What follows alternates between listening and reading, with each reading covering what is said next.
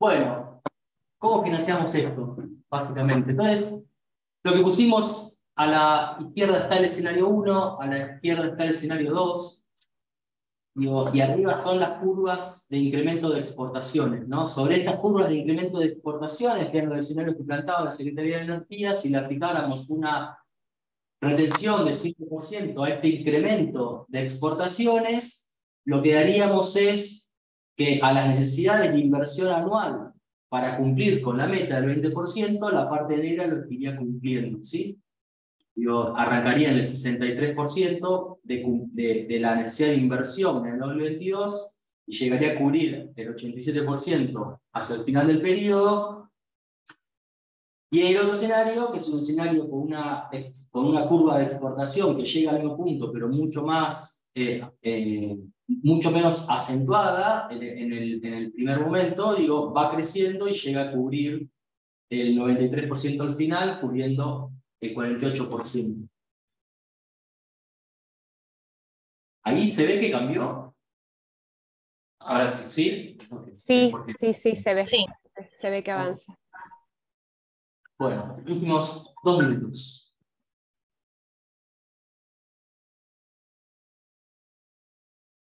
Ahí estamos. Entonces, eh, ¿no? Digo, básicamente hay necesidad de financiamiento de 9.300 millones, una licuota de 5% de las exportaciones de vaca muerta. En el mejor de los escenarios, con la información escasamente eh, pública que hay, en el escenario 1 se recaudaría el 87%, en el escenario 2, una curva de exportaciones mucho menor, el 48% del total.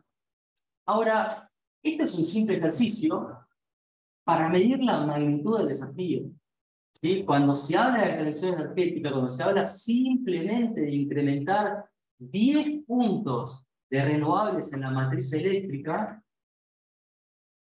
necesitamos exportaciones de 23 mil millones de dólares de vaca muerta al 2030 y simplemente con una cuota de 5% ni siquiera llegaríamos a cubrir esos 9 mil millones de dólares que necesitamos para incrementar y cumplir con la ley. Digo, la magnitud del desafío, ¿sí? la magnitud del desafío, cuando hablamos de transición energética, cuando hablamos de incrementar la participación de los renovables en la matriz, estamos hablando de esta eh, increíble magnitud de recursos que necesitan ser movilizados simplemente para cubrir 10 puntos en la matriz eléctrica. Esos son 3 puntos en la matriz primaria.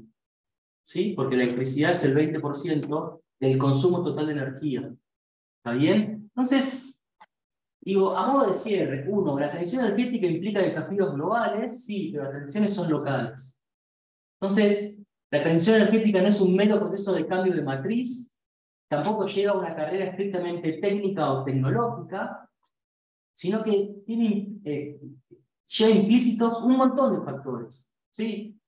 productivos, tecnológicos, territoriales, ambientales, algo que no hemos charlado, pero que son muy importantes, ¿no? Actores sociales locales, regionales, globales, geoestratégicos, etc. La transición energética es una gran política industrial como corazón eh, de, de la política pública. Dos, el financiamiento. Esto es muy importante para que lo podamos charlar después. No hay transición con industria nacional sin posibilidad de contar con financiamiento autónomo. ¿Por qué? Sin financiamiento propio, la transición energética la ordena el mercado. El ejemplo es el renovar. El, y el mercado no ha impulsado una política industrial para el desarrollo nacional. ¿Sí? Entonces, es necesario pensar la transición energética, pensar la política industrial asociada y pensar eh, fuentes de financiamiento autónomo distintas del financiamiento privado internacional que fue el que motorizó el renovar, porque cuando hay condiciones macro que se van, el renovar se cayó y no hay más financiamiento para las políticas de renovables en Argentina, porque el mercado internacional no va a financiar, digo, con el contexto de, incertidumbre macroeconómica que hay. Entonces, hay que ser creativos, hay que pensar mecanismos eh, autónomos, mecanismos autóctonos, para poder pensar una transición energética que implique política industrial, industria nacional y mayor empleo. ¿sí? Y por último, la transición energética es, es una posibilidad de volver a pensar la relación entre desarrollo, industria y ambiente en el siglo XXI. Gracias.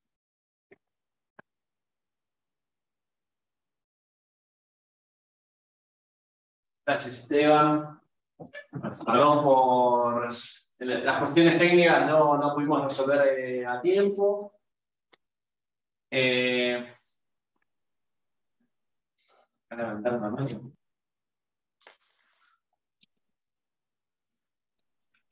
Bueno, habíamos dicho entonces que Isabel iba a ir en segundo término para contarnos el caso de México. Eh, Isabel. ¿Y tenés para compartir pantalla? No, no. ah, bien. Más preparada más, como para 10 minutos, luego compartiendo pantalla, me voy con un montón de información y, y quiero, quiero ajustarme justo al tiempo, ¿no? Bueno, pues antes que, que nada, mucho gusto para los participantes y muchas gracias a Ignacio por la invitación. Eh, es un poco complicado hablar de energía teniendo de compañeros a, a los invitados, a Nora, a Reto, a Esteban, ¿no? que yo los considero grandes conocedores del tema, ¿no? Y bueno, eh, así es un poco difícil si pensamos, o sea, contextualizar el tema de los retos, podríamos pensar las, las avenidas que tienen en México para lograr la transición energética. Y a mí más que nada me gustaría eh, plantear mi, mi, intervención tomando en consideración que pues la transición energética o todos estos temas de, de los cambios y adaptación y hacer frente a a, los retos del cambio climático ocasionados, ¿no? De alguna manera por, por las emisiones y directamente por el consumo energético en sus distintas formas, pues es muy complejo desde un país en el cual, pues finalmente México desde la década de los 70 se convierte en exportador de petróleo, ¿no?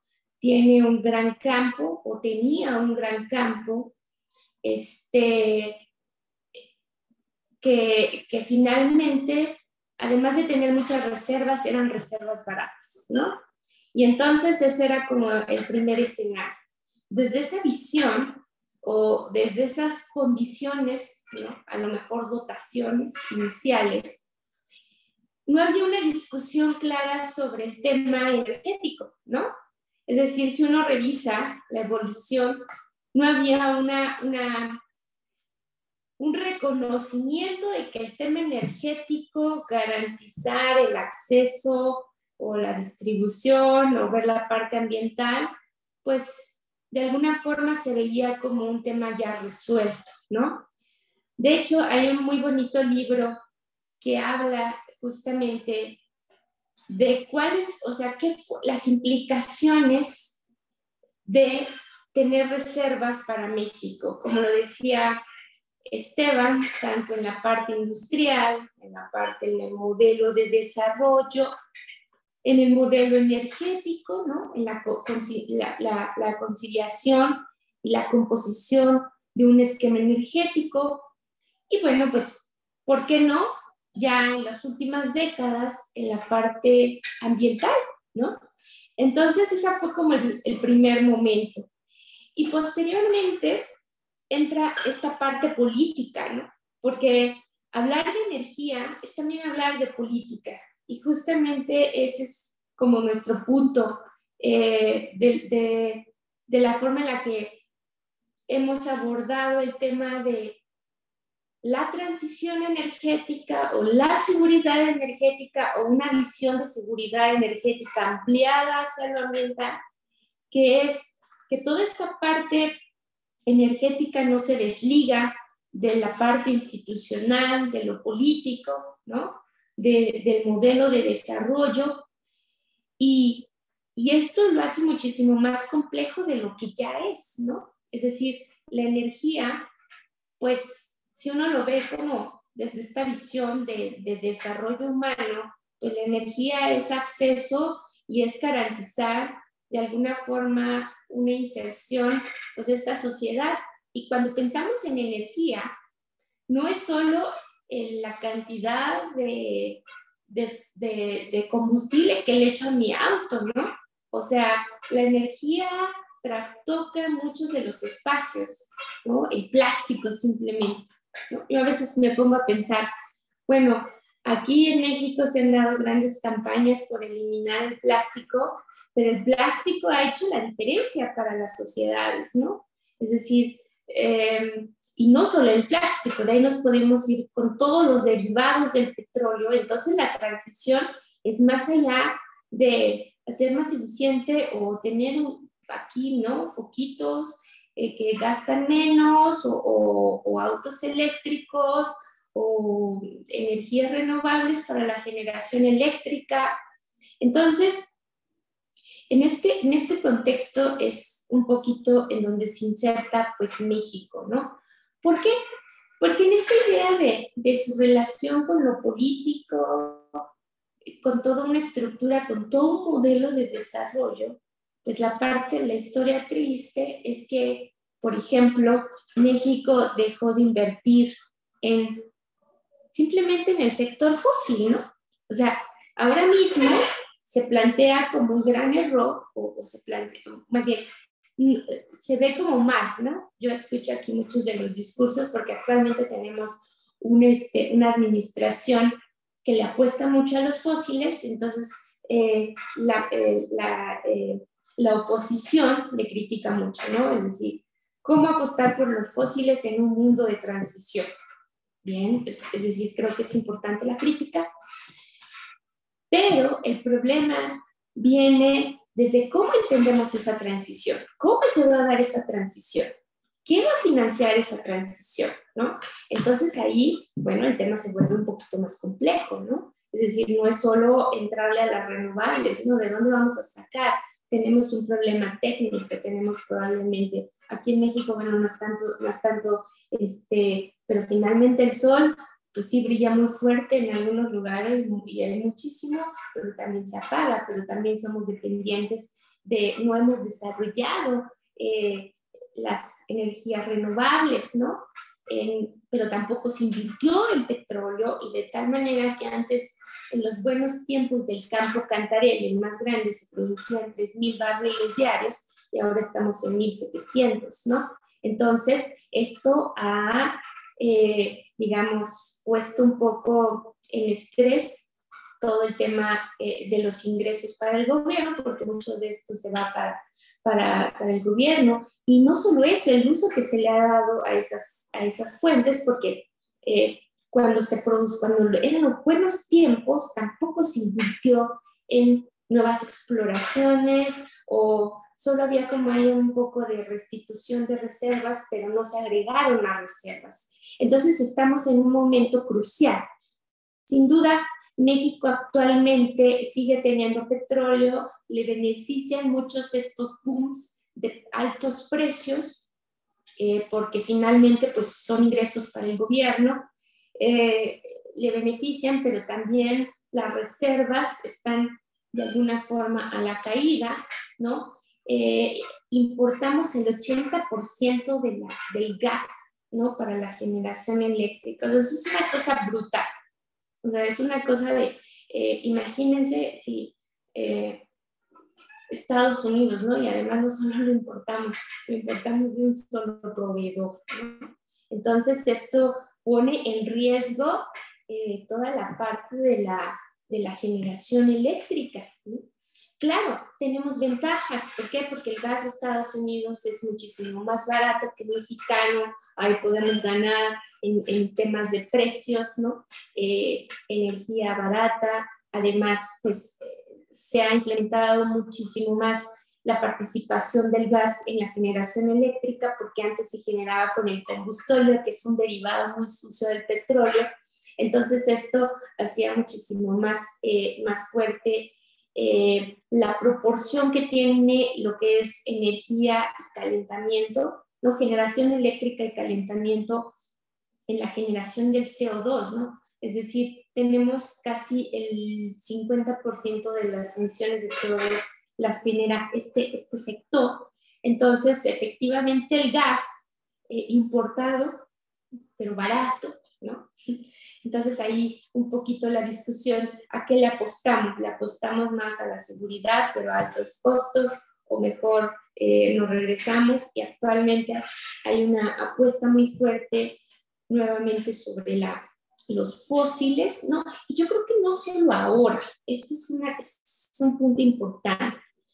Eh, prácticamente a partir del 2014-13, que fue el pico de, las, de la producción de este campo que les comento, ¿no? el gran campo Cantarel para México histórico, llega a su pico de producción y entonces a partir de ahí se empiezan allá, entonces ahora sí surgen las preocupaciones, ¿no? Ya no tenemos reservas, tampoco hemos generado energías renovables, eh, lo que teníamos de la hidráulica, pues ya no se ha podido extender, se tiene una importante participación, pero no se ha podido extender. Pero eh, en este punto crucial de caída de reservas y con las presiones por el cambio climático, eh, viene una gran reforma aquí en México, la reforma energética del 2013, que claro, sí le apostó de alguna forma a la generación eléctrica por particulares, este, a un poquito em, em, a la entrada de inversión en renovables, ¿no? más participación del gas. Sin embargo, nuevamente hay un importante reconocimiento de que el sector petrolero, ¿no? O sea, lo, lo, más importante de esa reforma en el 2013 fue atraer inversiones, tanto privadas como públicas, para eh, restituir reservas. Y la restitución de reservas era que aproximadamente para este año, ¿no? si las cosas iban bien, íbamos a regresar a esos niveles de producción de 3.000 barriles diarios. Bueno, la producción sigue cayendo, las reservas siguen cayendo, ¿no? Claro, Em, hemos reducido un poco las emisiones de CO2 en generación eléctrica porque hay una alta participación del gas, pues digamos la mayor proporción se genera con gas, pero eh, estamos en un escenario de gran dependencia energética. Y entonces llegamos a este momento, ¿no? En donde esta nueva administración le apuesta a Ah, porque además también importamos demasiadas gasolinas, ¿no? O sea, importamos de todo, tenemos poco, y entonces en esta nueva administración se apuesta por la, eh, bueno, primero restitución, este, modernización de algunas de las eh, refinerías para gasolina, pero bueno, históricamente se, se construye en dos años, tres años, más o menos tres años, eh, una nueva refinería, ¿no? Para, para petróleo crudo, que es el que tiene México mayormente. Eh, y entonces se pone sobre la discusión qué es lo que debemos de garantizar. Y es un poco, a lo mejor, un tema de discusión. Eh, y me parece una discusión eh, muchísimo realista. No con esto quiero decir que no debemos de pensar en la transición, sino, es decir, México dependiente del gas, México es dependiente de las gasolinas, no hemos, no hemos generado este, infraestructura para almacenamiento. Nuestro almacenamiento de gas es menos de una semana y el de gasolinas es de tres días, ¿no?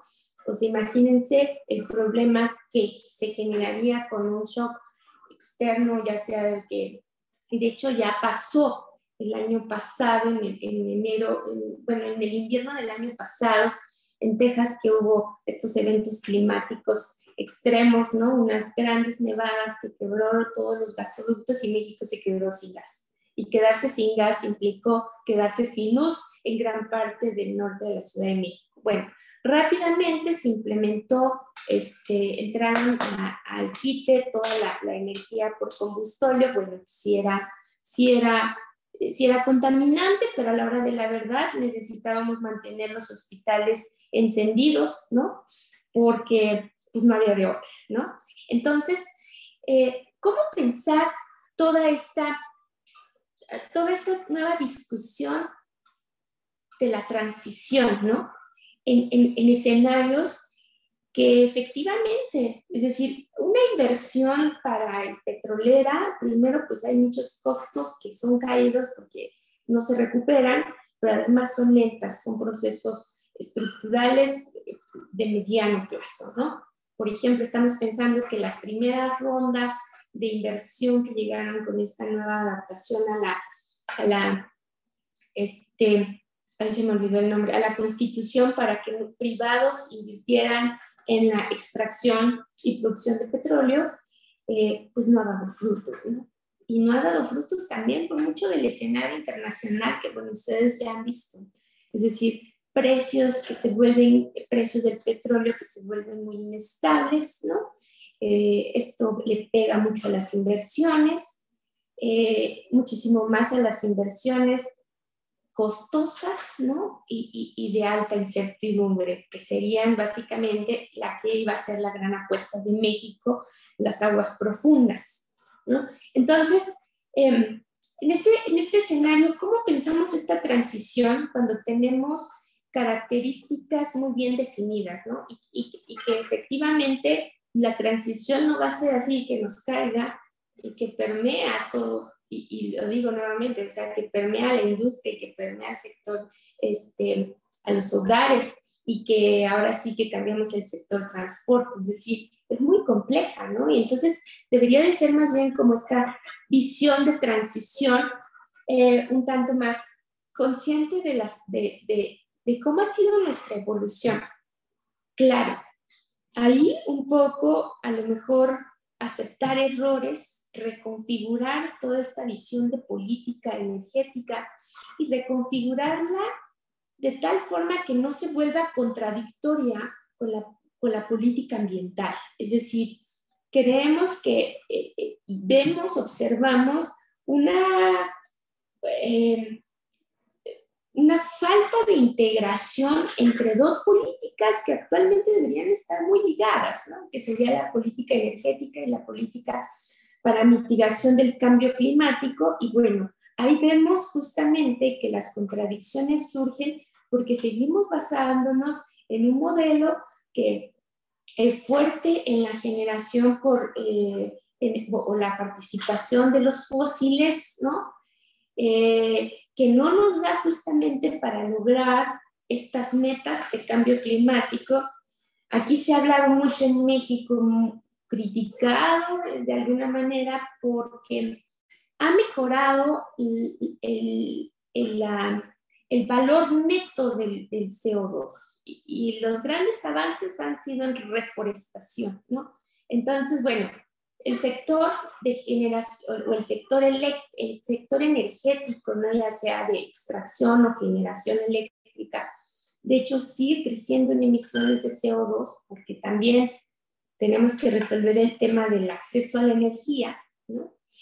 Eh, sin embargo, bueno, grandes avances se observan en la parte neta, es decir, ¿por qué? Porque se ha implementado una política muy fuerte de reforestación y entonces ahí parece ser que pues vamos mejorando. Pero a la hora de la verdad, ¿no? Uno de los sectores que debería de ser eh, coyuntural para lograr esta transición se tambalea en un modelo que reconoce fuertemente toda la política ambiental, pues México firma un tratado aquí, firma otro, reconoce el otro, ratifica el otro, nos comprometemos, pero seguimos arrastrando esta historia eh, basada en los fósiles, que bueno, em, tiene su razón de ser, ¿no? También, es decir, ¿cómo lo vamos a lograr? ¿no? Entonces, ese, ese sería como el punto de discusión.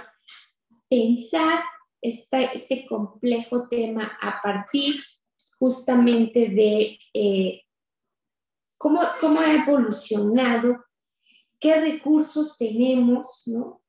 Y también, porque si no, vamos a llegar a nuevos problemas, como, como son todos los llamados, las falsas transiciones, ¿no? Que, que también puede generar problemas eh, muy complejos para, pues, en este caso hablo propiamente de México, que, que puede ser la dependencia tecnológica, que va a ser también nuevos minerales, ¿no? Se está hablando mucho de litio aquí en México, hay una gran discusión, se acaba de nacionalizar, ¿no? Eh, pero bueno, hay también muchos problemas socioambientales, ¿no? Entonces, debemos de pensar como, como en, esa visión de complejidad, de, de, integración, de complementar, ¿no? Estas dos grandes políticas. Bueno, pues esta sería mi participación. Muchísimas gracias y le doy la palabra a mis compañeros. Muchas gracias Isabel eh, por compartir eh, tus palabras, tu visión de, la situación mexicana respecto al proceso de transición. Eh, como vamos viendo, dentro de América Latina tenemos casos muy fuertemente pegados a la extracción y exportación de hidrocarburos, que representa un desafío adicional para eh, esos países, eh, con los matices que eh, podemos plantear entre Argentina y, México. Pero ahora vamos a abordar otro caso, a partir de lo que nos va a presentar Nora Fernández, sobre Ecuador, también un país exportador de hidrocarburos, con sus propios desafíos, barreras y oportunidades. Eh, Nora, eh, tus 20 eh, minutos para contarnos el panorama por allí. Bueno, muy, muy buenas tardes, Ignacio, muy buenas tardes con todos y todas. Me avisan si se corta, ya como está saliendo este mensajito de conexión inestable, entonces me avisan por si acaso, ¿ya? Ahora les voy a compartir pantalla. Uy, veamos.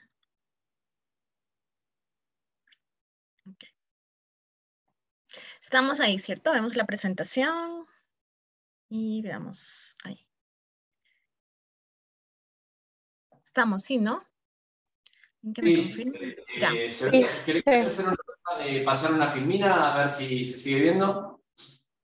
¿Sí? Sí, sí, perfecto. Ya, perfecto. Ya, entonces, bueno, esta, esta presentación, eh, bueno, primero agradecer a Ignacio y, bueno, a, a, todos y todas por, por estar en esta sesión. Yo quería, bueno, escuchar un poco la presentación de Esteban y la de mm, eh, Isabel, ¿no?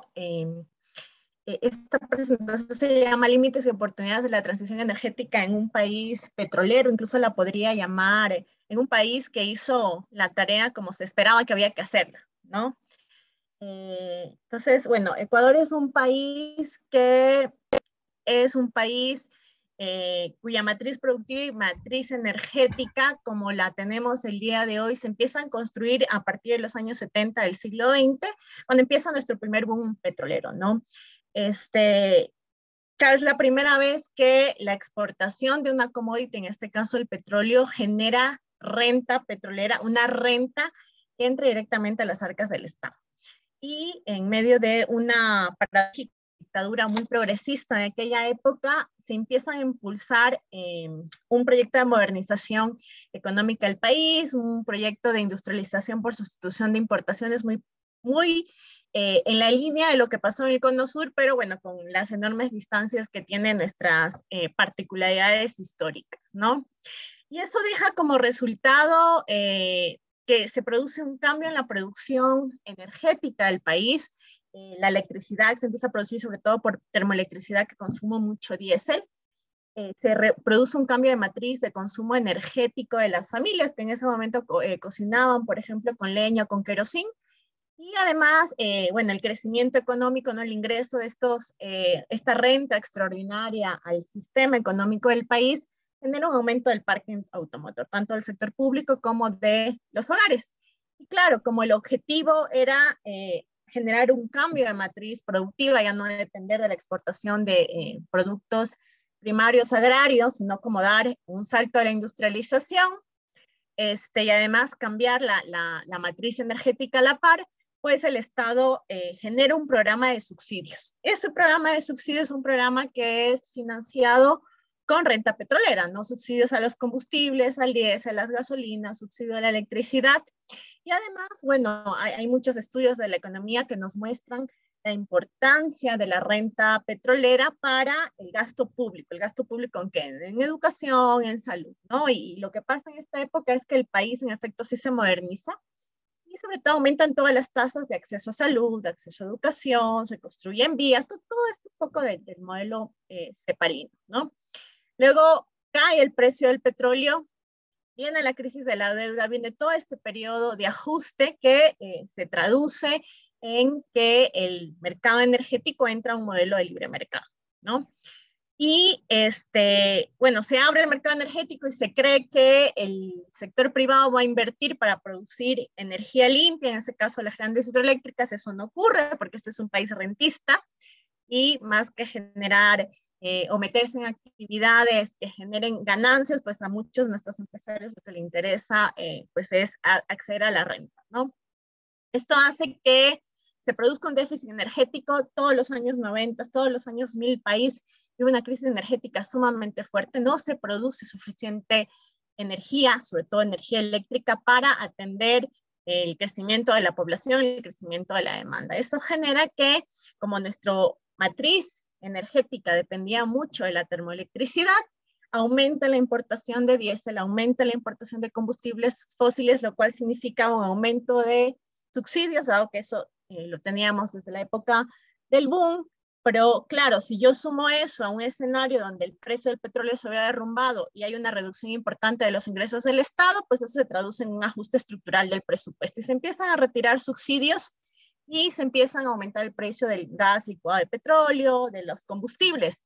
Lo menciono por algo que decía ya Isabel, ¿verdad? Hay, una, cuando pensamos en transición energética, pensamos en matriz energética, eh, necesariamente terminamos pensando en el modelo económico del país, en su modelo industrial, como decía Esteban, pero además en eh, la sociedad como tal. Entonces, claro, este ajuste que quita subsidios aumenta precios de estos bienes energéticos causa no una, sino tres eh, grandes revueltas sociales que terminan con derrocamientos de presidentes en el Ecuador, ¿no?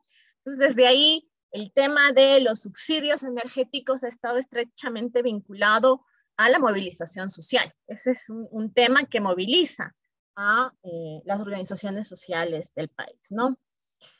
Y bueno, y este es como el contexto en, el cual al 2006-2007 llega eh, pues el gobierno de Rafael Correa, que se, se presenta como un gobierno anti-neoliberal, eh, y eh, se hace una nueva constitución y se propone, ¿verdad? Sabiendo que el gran problema del Ecuador es un problema estructural, es un modelo económico, se propone la constitución del 2008 el concepto del buen vivir como la hoja ruta para nuestro modelo de desarrollo, nuestro, nuestro crecimiento económico. ¿no? Y ahí se propone el suman causai como un paradigma, un nuevo paradigma donde se eh, impulsa esta relación armónica entre el ser humano y la naturaleza, ¿no? Y, pasamos de esta idea eh, antropocéntrica, este modelo antropocéntrico a un biocéntrico.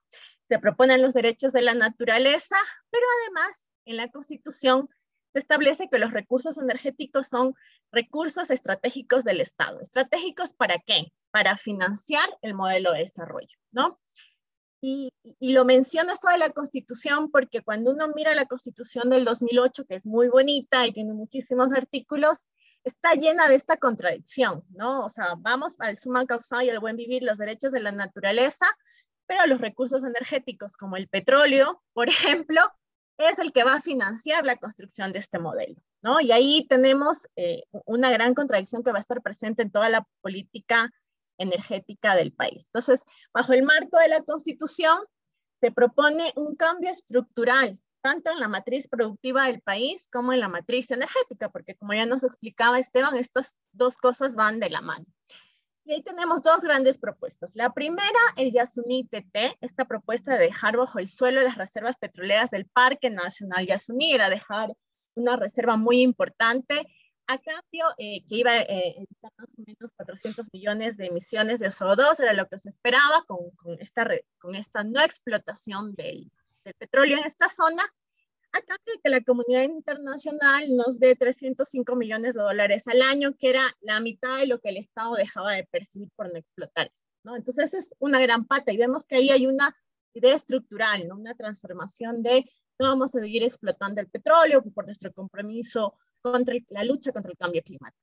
Y esta otra gran pata que tiene que ver con temas energéticos es el cambio de la matriz energética. El objetivo del cambio de la matriz energética es producir energía barata, limpia, eficiente, ¿ya? Pero que esté articulada a una matriz productiva, a una nueva matriz productiva que nos permita salir del extractivismo, ¿verdad? Entonces, el gran objetivo aquí era generar energía limpia para romper la dependencia que el país tenía del petróleo. Claro, la gran contradicción es que eso se iba a financiar con los ingresos extraordinarios del petróleo para aprovechar el boom de las commodities de, de la época, ¿no? Y este cambio de matriz energética tenía como un eje central la construcción de grandes proyectos hidroeléctricos. Muchos se habían diseñado en la década de los 70.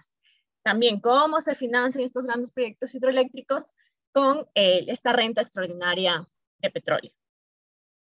Entonces, uy, perdón, me fue.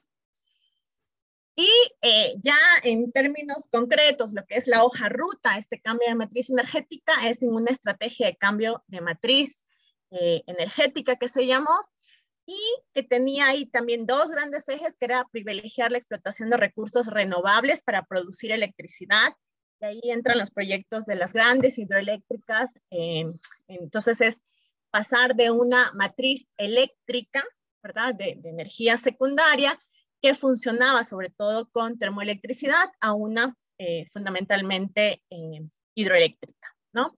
reducir pérdidas, todo el sistema nacional interconectado, todo, todo lo que uno se puede imaginar tiene que hacer para hacer la transformación de una matriz eléctrica, pues estaba en, en la agenda, además tenía financiamiento. Eso por un lado. Y por otro lado, eh, generar incentivos para reemplazar el uso de combustibles fósiles por electricidad en el sector productivo y en el sector eh, residencial, ¿verdad? Entonces, en el sector productivo, este, se puso incentivos eh, para que se consuma más electricidad y también se puso incentivos para castigar el uso del diésel, ¿no? Ya vamos a ver por qué, porque el diésel pues es el de mayor el bien energético de mayor demanda en el país, ¿no? Y ahí tienen una serie de políticas dirigidas hacia sectores que consumían bastante eh, diésel, como el sector camaronero, o la generación eléctrica que tiene el sector petrolero, ¿sí? Entonces se generaron todos estos incentivos, tantos positivos como negativos. En el sector residencial, ¿verdad? Nosotros, un, gran parte de nuestros subsidios energéticos se van para el uso del GLP, ¿verdad? El gas licuado de petróleo para cocinar. Entonces, se hace un plan nacional de cocción eficiente, se crea un fondo con incentivos, con subsidios para que la gente reemplace su cocina eh, que funciona con gas a una cocina con electricidad, porque bueno, si vamos a cambiar la matriz eléctrica, va a ser una electricidad sobre todo limpia, pues que la gente consuma, ¿no? Y eh, eh, además se dan incentivos para que la gente cambie la forma en que caliente el agua, ¿no? Para, para ducharse y para, para cocinar, ¿no? Entonces eso es otra gran parte importante, ¿no? Generar estos incentivos. Y finalmente hay otro, un sector que consume muchísimos energéticos eh, bienes energéticos fósiles del sector de transporte, como ocurre en toda la región, en casi todo el mundo. ¿no? Entonces, se hace un plan de inversiones para servicios de transportes masivos que funcionen eh, con electricidad. ¿no? Un metro de Quito, un tranvía en Cuenca, eh, un, un, sistema eléctrico en Guayaquil. Y esto además ayuda a solucionar un gran problema que generan los subsidios energéticos en la economía ecuatoriana, que es una economía dolarizada, y es reducir eh, eh, este gran problema es que tenemos un gran déficit fiscal vinculado al subsidio energético y además, como estamos dolarizados, tenemos un problema de balanza de pagos, ¿no? Como aumenta el, eh, la importación de combustibles fósiles para mantener el sistema de consumo y el sistema de producción, eso genera déficit fiscal y genera un déficit de balanza comercial, lo cual es gravísimo en una economía dolarizada como la nuestra. Entonces, eh, lo que quiero llamar la atención es cómo se piensa una estrategia bastante integral, ¿verdad? Bastante completa, donde eh, se articulan las finanzas públicas con el cambio de matriz energética. Y además, eh, en esta idea de transformar el modelo económico, la economía ecuatoriana, Además, se propone la creación de nuevos sectores económicos como construir astilleros, una refinería, toda una serie de eh, unas nuevas industrias que se le llaman para transformar el sector eh, productivo, pero que además sean unas nuevas industrias consumidoras de electricidad. Ese era un poco el plan, ¿no? Pensado así de manera súper integral. Pero como bien decía también Esteban en su presentación, esto requiere recursos, requiere sobre todo capital, porque son grandes obras de transporte, grandes obras, sobre todo de infraestructuras, si pensamos en hidroelectricidad. Y entonces, pues, desde el 2010 eh, hasta el 2006, eh, se invierte, la, inversión pública eh, le dedica 10 veces más a la construcción de hidroelectricidad para este proyecto a largo plazo de cambio de matriz energética, pero además pues no alcanza la renta petrolera, ¿no? Y entonces empezamos un ciclo de endeudamiento con China, ¿no? Que en ese momento era como el mayor proveedor y ya sabemos que eh, este financiamiento viene atado, ¿verdad? Me da, te doy el crédito, pero eh, me contratas a mí con un contrato eh, llave en mano a las empresas chinas, ¿no? Entonces, es más, el, eh, más del 60% de los créditos que Ecuador eh, obtiene en ese momento con China son destinados para el sector energético del país, ¿ya? Y esto, pues, el plan sigue hasta, el plan sigue y da unos resultados.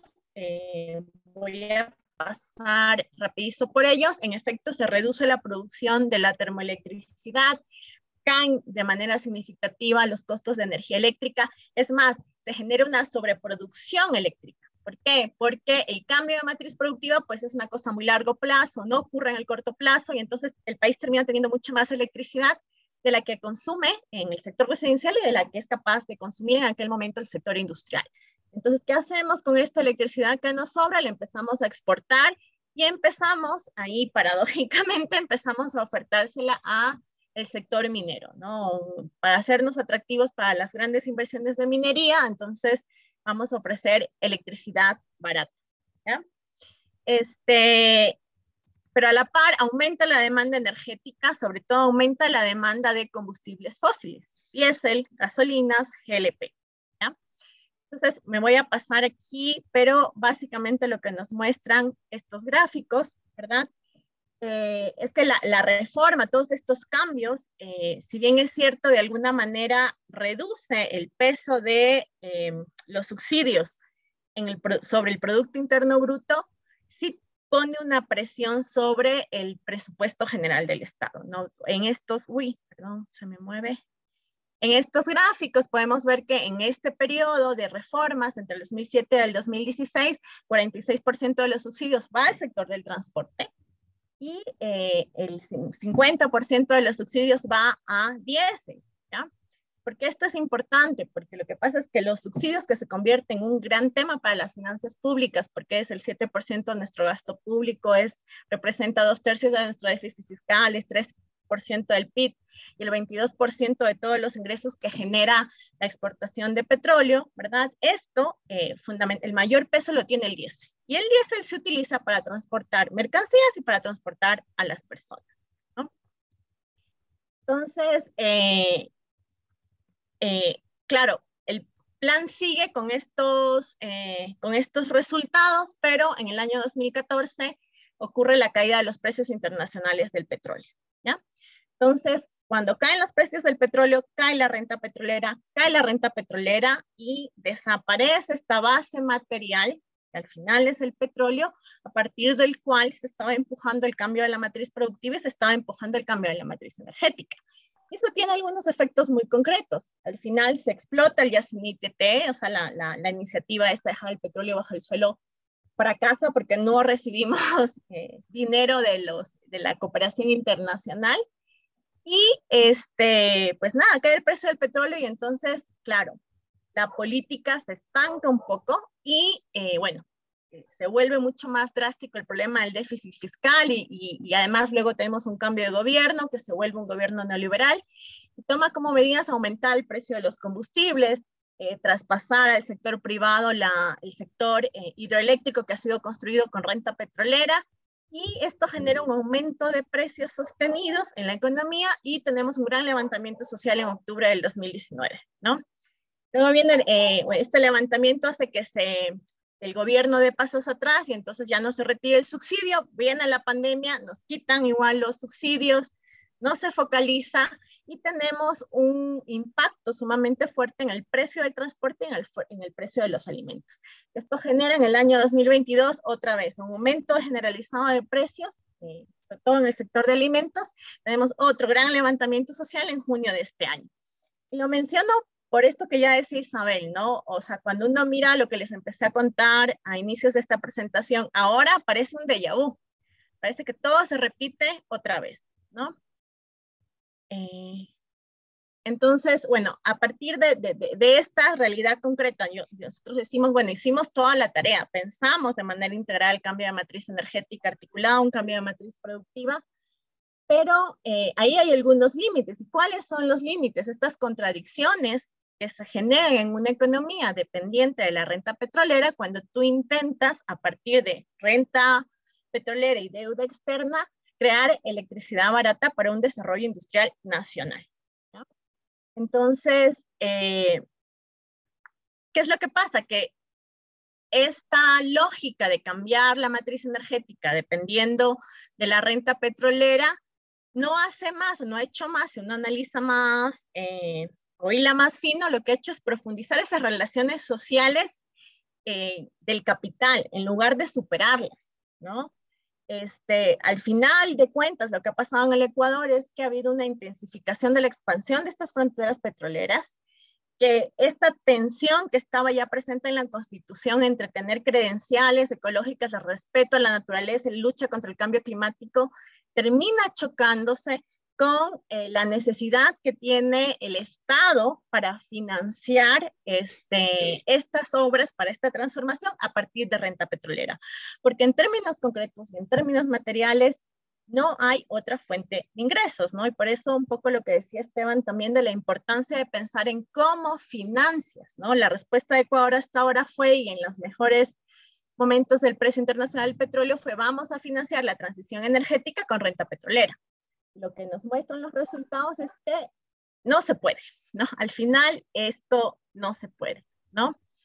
Entonces, al final del día, el cambio de la matriz eh, energética vinculado al cambio de matriz productiva no ha tenido cambios estructurales, lo que hemos tenido es un aumento de consumo eh, energético subsidiado de parte de los hogares, el transporte público ha aumentado su consumo o, o su demanda de combustibles fósiles, el transporte de alimentos se hace con eh, combustibles fósiles, la mayor extracción petrolera y la nueva extracción minera a gran escala que tiene el país desde la década pasada son grandes consumidores también de combustibles fósiles, ¿no? Entonces, eh, no se puede pensar este, este debate, esta transición energética en países dependientes del petróleo como el Ecuador, si no pensamos esta relación entre eh, Estado, naturaleza y sociedad, ¿verdad? Y, tenemos que ahí preguntarnos como agenda de investigación, ¿cuál es esta relación entre las rentas energéticas, el capital, la energía que ocurre? Y además tenemos que pensar en, en que la estrategia va más allá de la técnica, ¿verdad? La estrategia tiene que ver cómo resolver esta, esta tensión que se da entre los procesos de acumulación de capital y la distribución en nuestros países, ¿no? Dependientes del petróleo, el Estado tiene un rol, no solamente como quien capta la renta del petróleo, sino que además tiene un rol de distribuidor, ¿no? Eh, los estudios o los análisis económicos del país muestran que cuando aumenta el precio del petróleo y hay una adecuada redistribución de esa renta a nivel social, pues mejoran las condiciones de vida de la gente. Entonces, no es tan fácil para países como el Ecuador decir, pues simplemente dejo de explotar petróleo, porque si lo hacemos, no tienes recursos para financiar el consumo energético eh, del sector residencial y del sector productivo ni del sector transporte, pero tampoco tienes recursos para financiar cosas como salud, educación, obra pública. ¿no? Entonces, eh, pareciera que no hay eh, salida, ¿no? O sea, las oportunidades que tiene la transición energética en países como el Ecuador dependen directamente de la posibilidad de generar rentas extraordinarias. Esas rentas extraordinarias las genera el petróleo, el financiamiento externo, ¿no? Que luego además se lleva eh, vía pago de intereses mucha de la renta petrolera que es generada con la explotación de los recursos naturales.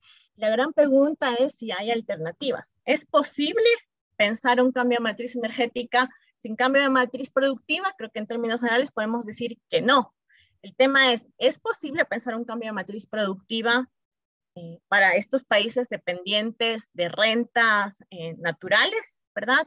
Y ahí la gran contradicción de pronto es que cuando uno piensa en estos cambios estructurales, son cambios de largo plazo, que dependen de los ingresos de ciclos muy cortos, de los precios de las commodities. Entonces, claro, ahí tenemos muchísimo sobre lo cual debatir, ¿no?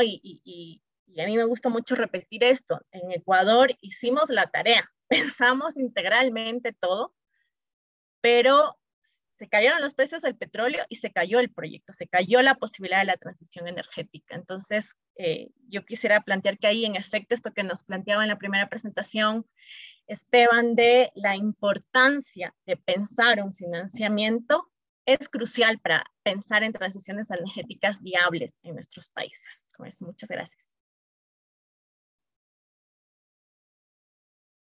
Muchas gracias, eh, Nora. Eh, impecable.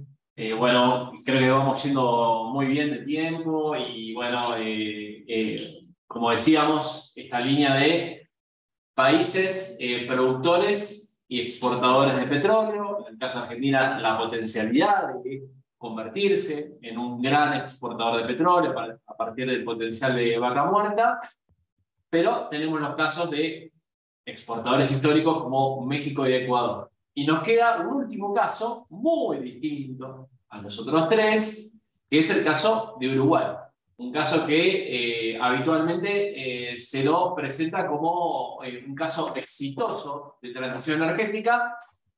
vamos a ver qué tiene para contarnos Reto Bertoni, de la Universidad de la República, desde Montevideo. Le damos la bienvenida con sus 20 minutos. Bueno, muchas gracias Ignacio. Gracias por esta oportunidad de poder compartir con ustedes algunas ideas. Vamos a ver si puedo, este, a ver si, si cambia ahí, ¿sí? Sí, perfecto. Perfecto.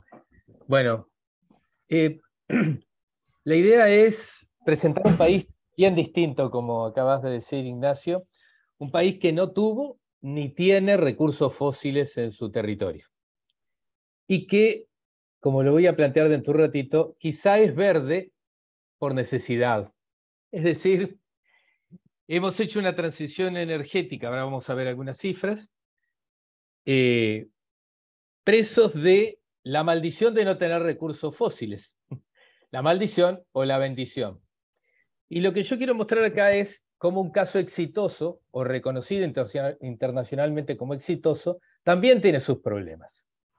El Uruguay es verde, pero hay una serie de dilemas planteados hacia el futuro que voy a plantear al final de la presentación. como, como quiero que tengamos tiempo de discutir un poco, quizá alguna de las transparencias de, los gráficos, después yo te los dejo, Ignacio, y se pueden repartir entre los presentes, este, porque quiero llegar hacia el final a discutir lo de la financiación de la transición energética, cosa a la que han aludido los tres compañeros que me han precedido en el uso de la palabra. Entonces, la idea es ver las luces, pero también las sombras de esto que se ha dado en llamar la revolución eólica en el Uruguay. La... un poquitito, que acá pasa algo. Eh, solo para describir esto, en las dos décadas que van de largas del siglo XXI, el sistema eléctrico de Uruguay se ha transformado notablemente. ¿ah? Se han incorporado eh, como potencia eh, la biomasa, o sea, eh, generación con biomasa, con eólica y con solar. ¿ah? Lo que sumado a una histórica fuerte participación de la hidráulica en la generación de energía, ha permitido que el 97% de la generación eléctrica en el país sea con fuentes renovables más convencionales como la hidráulica o no convencionales como la biomasa, la nueva biomasa, llamémosle así, la eólica y la solar. Es decir, eh, el petróleo o los derivados del petróleo no ocupan más que un 3% en la matriz eléctrica del país actualmente. Esto hace que nos posicionemos muy bien frente a la Agenda 2030, los Objetivos de Desarrollo Sostenible, los Acuerdos de París del 2015, y que el país califique muy bien en el ámbito internacional, ahora vamos a ver, para poder captar recursos, para continuar con su transición energética. Eh, ¿Cuál es el contexto en el que se da esa transición energética uruguaya? Primero que nada es que todos somos conscientes de eh, la crisis ambiental contemporánea, de la necesaria transición energética verde para el planeta, no para los países en particular, sino para los planetas y para la propia especie humana, en esto que se ha generalizado ya su uso, la palabra, el concepto de antropoceno. lo interesante es que en la literatura especializada se ha discutido mucho cuál es la duración de, estas transiciones energéticas necesarias. ¿Cuánto tiempo tenemos o cuánto tiempo necesitamos para poder llegar a tiempo, valga la redundancia, en esta eh, lucha por mitigar los efectos del cambio climático, por ejemplo? Eh, se discute sobre la duración, sobre el ritmo, sobre los drivers de las transiciones, y entonces revisitar o, mirar algunos casos nacionales resulta interesante para poder descubrir algunas dinámicas de cómo podría darse esto. En concreto, en el caso de lo que voy a plantear a continuación, coincide mucho con lo que han planteado los compañeros anteriormente. Eh, la matriz energética no, no, es otra cosa que un sistema sociotécnico en el cual personas artefactos y relaciones sociales con esos artefactos eh, permiten determinados avances o formas de vida. ¿ah? En este sentido, el cambio de la matriz energética implica cambios estructurales fuertes, un diálogo, contradicción con tendencias globales, pero, y esto me parece que es interesante remarcarlo, aún en ese mundo de condicionantes, la política importa y los actores a escala nacional tienen algo para hacer más allá de lo que veamos como fuerzas globales o como factores estructurales que pueden estar incidiendo. En este sentido, eh, las, políticas o la acción sobre eh, la matriz energética eh, hace que los procesos no sean lineales y en el caso de Uruguay, concretamente, revisar esto de las luces y las sombras, que me propongo en estos minutitos, ¿ah? puede ayudar tanto a reflexionar teóricamente como a pensar los ajustes que debería realizar el país de cara a lo que se ha ido llamando a nivel interno la segunda transición energética.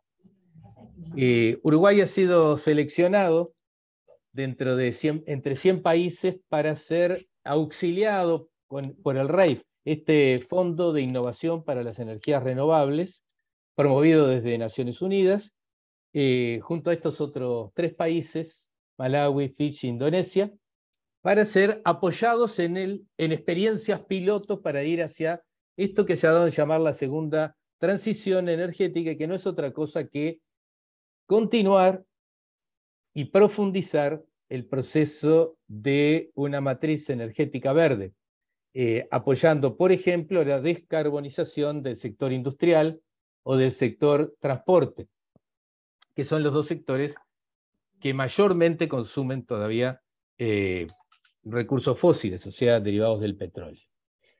El gobierno actual se ha embarcado en, eh, esta estrategia. ¿ah?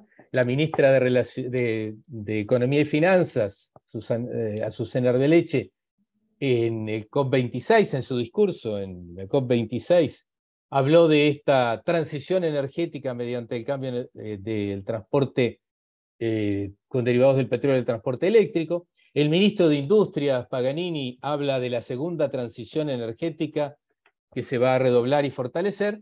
Y eh, hace un par de meses atrás, eh, el gobierno ha publicado este, esta guía, esta hoja de ruta del hidrógeno verde como gran estrategia nacional hacia el cambio de la matriz. Pero, dicho esto, conviene mirar un poquito para atrás para poder mirar hacia adelante. Y en ese sentido voy a recorrer alguna información y sobre todo tratar de hacer un mínimo balance de esa revolución eólica o de esa primera transición, que en realidad no fue la primera, eh, de la que eh, hemos hablado o se habla en el mundo. Eh, en los últimos 50 años, el país ha duplicado el consumo total de energía primaria. Es decir, ha habido un incremento notable de 2.500 a más de 5.000 kilotoneladas de equivalente petróleo como consumo total de energía primaria. En este contexto, las fuentes han cambiado notablemente. En 1970, al comienzo de los años 70, antes de la crisis del petróleo, el 75% de ese consumo de energía primaria era petróleo derivados del petróleo. Hoy, o, bueno, en las vísperas de la, de la pandemia, esa participación había caído al 40%, y fundamentalmente concentrado en el sector transporte, y en menor medida en el sector industrial. ¿Cuál ha sido el mecanismo, cuál ha sido el instrumento que explica en buena medida esta transición? Bueno, la política. Como decíamos hoy, los actores nacionales también tienen algo que hacer. No son solamente receptores, sino que pueden ser actores. Y en ese sentido, en 2010 fue firmado por los cuatro partidos con representación parlamentaria una política estratégica de energía al 2030, en la cual se acordaron algunos pasos y algunas áreas en las cuales deberían realizarse las políticas. Fue de las pocas políticas de Estado que pudieron eh, concertarse a nivel nacional. ¿Cuáles han sido los resultados? Cuando uno mira los últimos 50 años, al comienzo del periodo, allá en los años 70, como veíamos recién, el petróleo era el gran protagonista de la matriz energética uruguaya, más del 75%, como veíamos recién, con una interesante participación de la leña, todavía en el país, y con un, aporte de la hidroelectricidad minúsculo. A medida que pasa el tiempo y cuando me salteo todo el, entremedio, pero me voy al final, uno ve hacia el 2020 una matriz eh, primaria mucho más diversificada, en la cual el petróleo sigue teniendo lugar, ese 40% del que hablábamos hace unos minutos, pero sigue teniendo participación la leña, la hidroelectricidad, aunque minoritariamente todavía participa de la, de la matriz primaria, la nueva biomasa, y esto tiene que ver con las pasteras, las, las eh, fábricas de celulosa, ¿no? Este, que se han instalado en el país desde 2007 para acá, la energía solar, acá en naranja, y, perdón, la energía eólica en naranja y la amarilla allí arriba, que es la solar. Pero como ustedes ven, el mosaico es mucho más complejo que el del comienzo del periodo. Pero el gran cambio se ha dado en el sector eléctrico, decíamos. La energía eléctrica es una energía secundaria, necesitamos de una fuente de energía para generarla, y si tenemos que hablar de transiciones energéticas, la primera transición energética en el sector eléctrico se dio con la incorporación de la hidroelectricidad.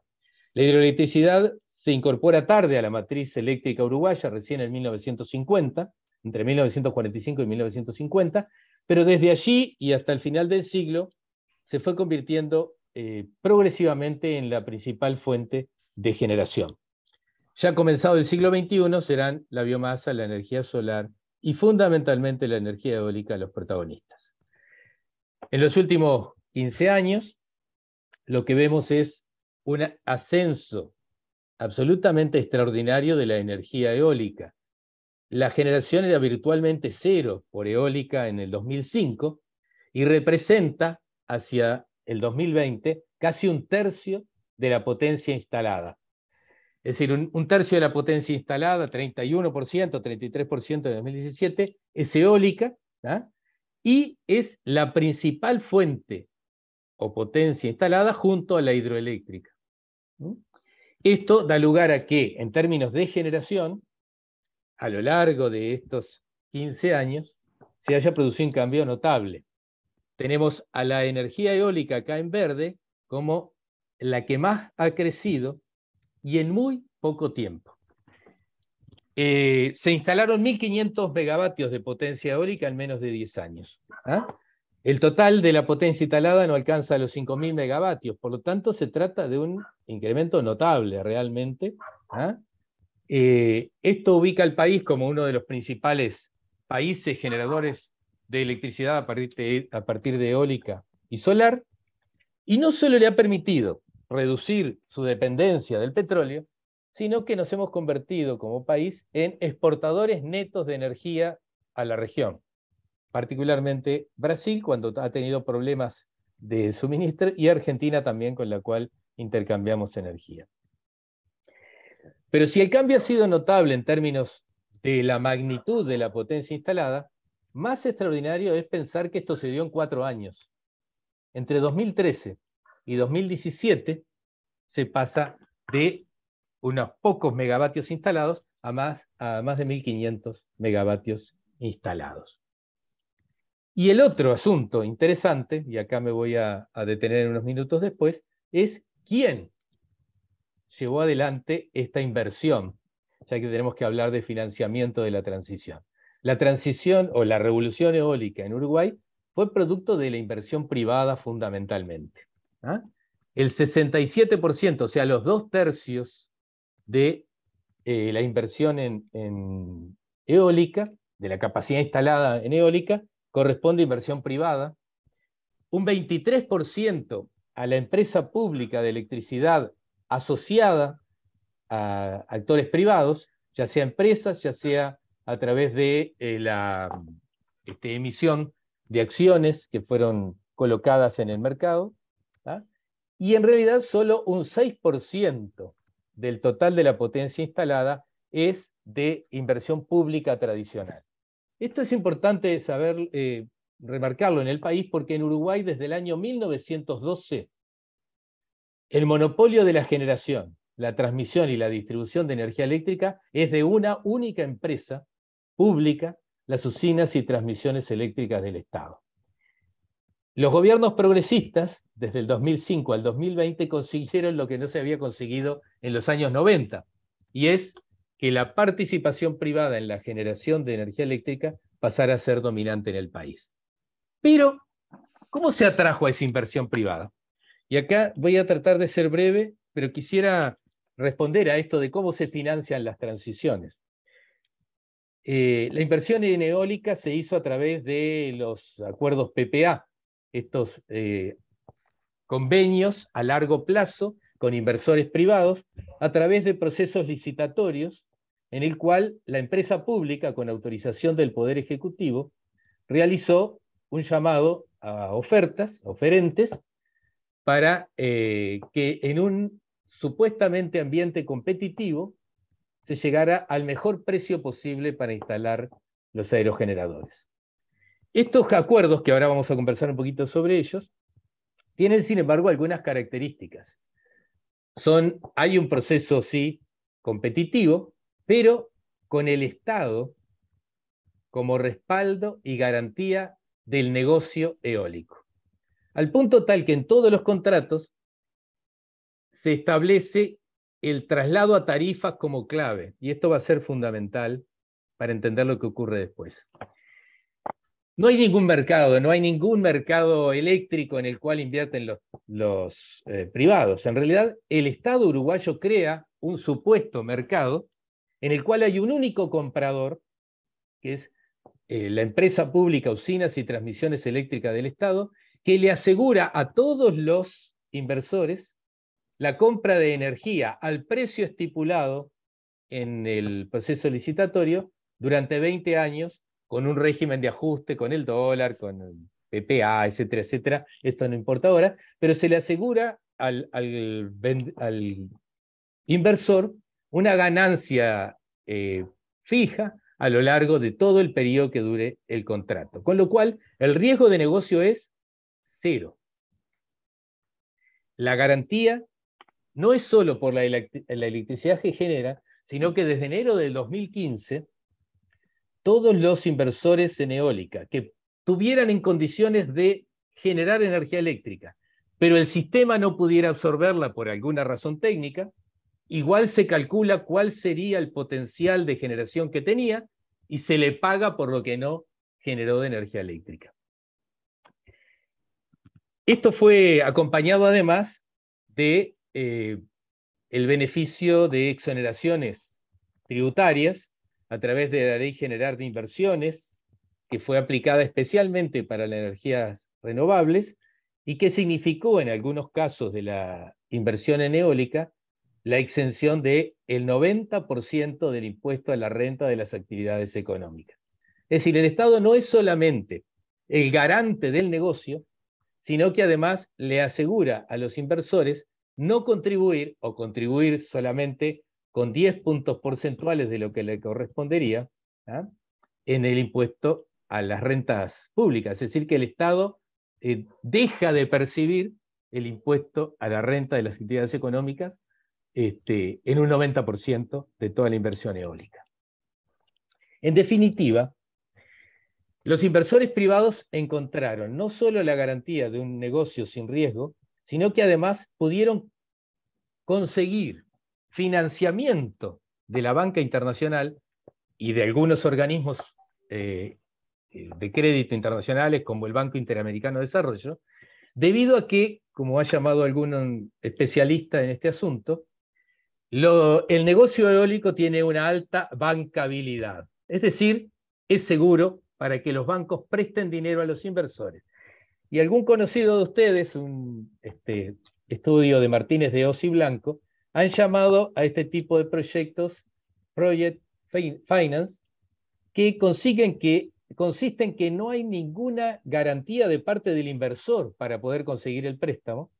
No es la capacidad de los inversores, el respaldo en que tengan sus activos, sino el propio negocio, la propia rentabilidad del negocio lo que les hace posible acceder a los créditos bancarios. En definitiva, el negocio hélico fue en buena medida un negocio financiero. El propio mentor de esta revolución eólica, eh, el ex director nacional de energía de la época del primer gobierno de Tabaré Vázquez, promocionaba la inversión eólica como un proyecto financiero en el que la ganancia estaba asegurada por la propia, el propio carácter de los proyectos. Esto lleva a que haya mucha vulnerabilidad en el resultado de esta revolución eólica. En primer lugar, porque por contrato tiene prioridad la energía eólica en el despacho nacional de cargas. Es decir, primero hay que despachar la energía eólica de los privados. Aunque esto sea a costa de tirar por los vertederos agua de las eh, centrales hidroeléctricas, cuyo costo eh, variable es cero. Entonces, compramos electricidad a 62 dólares promedio el gigavatio hora y tiramos los gigavatios hora que podríamos este, incorporar al sistema con costo cero. La segunda cuestión es que las tarifas, a donde se traspasan todos los, los costos de la inversión, se cobran en pesos, pero la energía eléctrica a los privados de la, revolución eólica se les paga en dólares. Y no tenemos que ir a ningún este, progresista ni izquierdista ni para saber, acá traje una cita del BID sencillamente, el Banco Interamericano de Desarrollo ha señalado que buena parte de las crisis financieras latinoamericanas de las últimas décadas tienen que ver con que se tiene activos en una moneda y pasivos en otra. Es decir, se cobra en pesos y se paga en dólares. Y cierro con esto. Eh, Mazzucato, que está muy en onda, este, un economista eh, realmente influyente en, el concierto internacional, en uno de sus trabajos, en 2017, señalaba la alerta que tenemos que tener respecto a cómo se financian los proyectos renovables.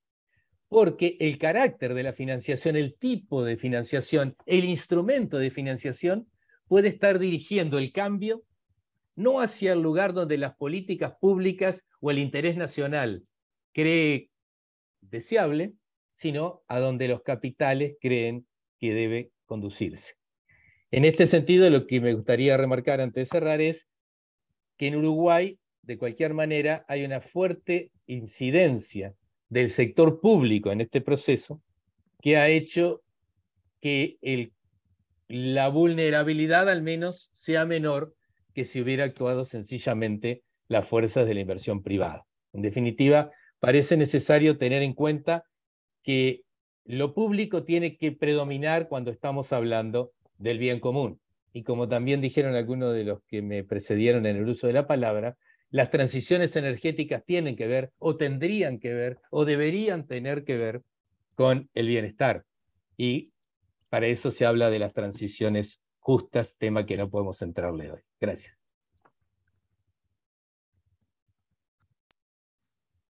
Muchas gracias, Reto. Eh, clarísimo también el caso uruguayo, que tanto interés genera habitualmente cuando hablamos de estos temas. Eh,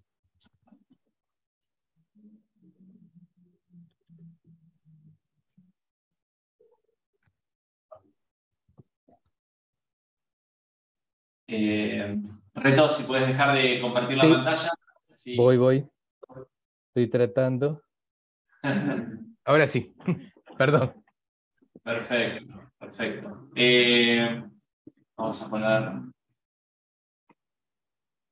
Bueno, eh, eh, ante todo, Isabel está por desconectarse, me avisó que tiene un tema familiar, personal, y, súper agradecemos su participación. es una pena que no podamos hacer algunas preguntas más sobre el caso mexicano. Eh, igual, Isabel, si tenés dos minutos, si querés agregar algo eh, antes de pasar a las preguntas.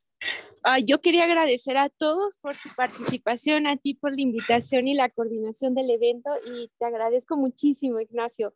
Qué pena, una disculpa. Les dejé mi correo por si se quieren poner en contacto conmigo. Bueno, muchísimas, muchísimas gracias. Eh, gracias, bueno, estamos conversando sobre estos temas. Gracias, gracias, hasta luego. Bueno, eh, invito tanto a quienes están aquí presentes como a quienes están eh, a distancia a hacer preguntas. Los que están a distancia, si quieren dejarlas por escrito, por lo que estuve viendo, Carlos Isaí dejó unos cuantos comentarios. Eh, Carlos, te pediría si eh, pudieras resumir todos los comentarios en una pregunta para hacer a, uno o a todos los expositores, eh, sería lo, más óptimo. yo tengo mis preguntas personales, pero quisiera escucharlos a ustedes.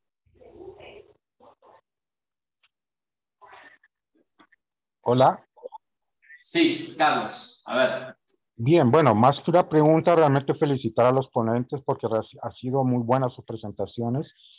Y sí, para eh, el caso de Uruguay es un caso sumamente emblemático e importante, en el cual eh, se muestra la, la, importancia, la relevancia, lo toral de que haya una política de Estado, más bien, que oriente todo el proceso y lleve hacia la inversión privada a fortalecer el desarrollo eh, social e inclusivo.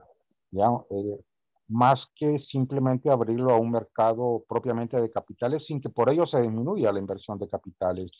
En todo ello, como eh, mencionaba muy acertadamente la colega de Ecuador, la dependencia de, de tratar de financiar esta transición energética a través de la renta petrolera, en el caso de los países que tienen la suerte de contar con, con dichas rentas, eh, pues el hecho es que está muy, es muy sensible a los shocks eh, y a los eh, crisis mundiales, tal como comentaba, y eso genera precisamente una debilidad en el proceso. Y por ello es necesario incorporar, por ejemplo, iniciativas mundiales como las que mencioné también, en el cual hay importantes reformas fiscales a través de eh, impuestos a las más grandes transnacionales que generan en dos pilares entre 400 y 1000 y a ver, para ver el dato más adecuado, que generan ah, entre pues 438 y 1038 millones de dólares anuales para América Latina, en el caso del Pilar 1, y en el segundo, pues genera 2.100 a 2.250 millones de dólares anuales eh, para América Latina, por supuesto, no para cada país.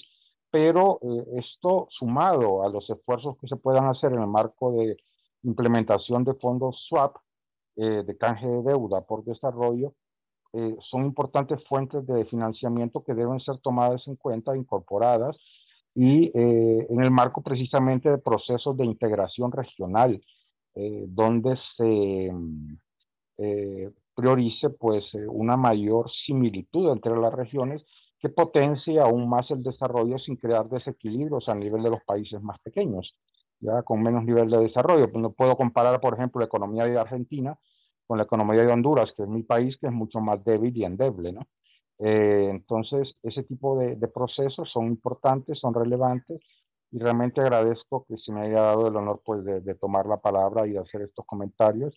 Y felicito nuevamente a los colegas porque sus presentaciones han sido eh, excelentes y resalto nuevamente el caso emblemático de Uruguay, que aparte de, ser un país que tiene una transición energética más avanzada eh, a nivel de toda Latinoamérica, es un país también con los mejores índices de desarrollo social y de desarrollo, índices de desarrollo humano en general a nivel de toda la región. Gracias. Muchas gracias, eh, Carlos, por tus palabras. Eh, si no entendí mal, desde Honduras nos estaban siguiendo. Acá también tenemos un mensaje de Chulelca, desde República Dominicana. bienvenidos desde Centroamérica. Eh, que, bueno, no, no, hemos tenido la oportunidad de conversar. Un caso específico de Centroamérica es, bueno, quitando el caso mexicano, que no, no, no sería eh, el mismo, pero eh, gracias por, por estar de, de, ese lado. También tenemos saludos de Rosa, de Cristina. Muchas gracias también por sus comentarios. preguntas para los expositores por aquí para, para bueno, para, para Uruguay. Ahí, bueno, mucho hincapié fundamentalmente en la cuestión de la pata institucional en el caso del de Poder Legislativo. Si te puede contar un poquito la cocina, cómo fue eso, para llevar los proyectos, cómo se trataron, si hubo mucha presencia en, las comisiones, fueron, se salió, salió enseguida proyecto, hubo mucho que trabajarlo, un poquito si, si tal tanto puede contar un poco la cocina, porque evidentemente es una pata fundamental para que haya y unanimidad legislativa para, bueno, para los resultados. ¿no? Eh, antes de pasar a las eh, rondas de respuestas, yo quiero agregar eh, una cuestión para Nora, que si nos puede comentar muy brevemente la situación actual del sector eléctrico ecuatoriano, que tengo entendido que está generando grandes saldos de excedentes eh, de electricidad a partir de los proyectos hidroeléctricos y que en este momento le está exportando electricidad, eh, sobre todo a Colombia, pero también algo a, Perú. Esto me imagino que es un cambio importante también para eh, la, la, economía ecuatoriana. Y para, para Esteban, yo le, le, doy el pie, pero obviamente estos temas los trabajamos juntos, que haga algunos comentarios sobre las capacidades eh, argentinas vinculadas con eh, eh, las tecnologías renovables. antes de pasar a la ronda de respuestas, Claudia manda saludos desde Rivera, Uruguay. Carolina, en cuanto a la financiación, si contamos con algún dato, en las previsiones posibles se construye el gasoducto Kirchner, obviamente esa cuestión para Esteban. Bueno, eh, hacemos una primera ronda de, respuestas. Eh, no sé si quieren empezar Reto o Nora. Yo necesitaría que me, repitieran porque se hizo como reverber el, audio. ¿Vas a empezar acá? Ah, bueno, eh, acá Sandra. Sandra. preguntaba si... Eh, eh, a, a, ver si la interpretación no, porque después... no, no, no, no quiero que maten después al mensajero, como he dicho en otras clases. Eh, preguntaba un poco por eh, la, cocina eh, legislativa de esta política acordada por los cuatro partidos con representación parlamentaria. ¿Qué tan sencilla resultó? ¿O si generó, se generó, se fue más conflictiva? bueno, interesante también lo que plantea Reto, que Frente Amplio también cediendo este, este lugar eh, con una matriz política mucho más eh, estatista, si se lo podría decir, generando eh, este cambio de propiedad en la generación eléctrica hacia el sector privado. Bueno, muy interesante ese tema también. Gracias, gracias, Ignacio. a ver, lo, lo, primero a tener en cuenta es que en el Uruguay, a diferencia de buena parte de América Latina, hubo dos referéndums, dos plebiscitos, en los cuales se impidió la privatización de las empresas energéticas del Estado. Como decía hoy, desde 1912 las usinas y transmisiones eléctricas del Estado tenían, tienen el monopolio, tenían el monopolio de la generación, la transmisión y la distribución, y la petrolera estatal tiene el monopolio de la importación y refinación del petróleo en el país. En, el año, en, los años 90 y a comienzos de los 2000 se intentó, primero por parte del padre de nuestro actual presidente, eh, promover una privatización de, estas empresas públicas y eh, de, de, UTE sobre todo y de Antel, que es la telefónica, y a comienzos de los 2000 de ANCAP, que es la petrolera. En ambos casos, la ciudadanía se eh, expresó negativamente hacia esto y derogó los artículos de privatizaciones de esas, ley, de esas leyes de empresas públicas. Entonces, eh, los partidos políticos, aún aquellos de mayor raigambre liberal, tienen que mantener su, su electorado. Y en buena medida, la, el preservar el papel de la empresa pública eh, tuvo que ser eh, asumido por la mayoría de los partidos. Eso allanó muchísimo el tenor de las negociaciones en torno a la matriz energética.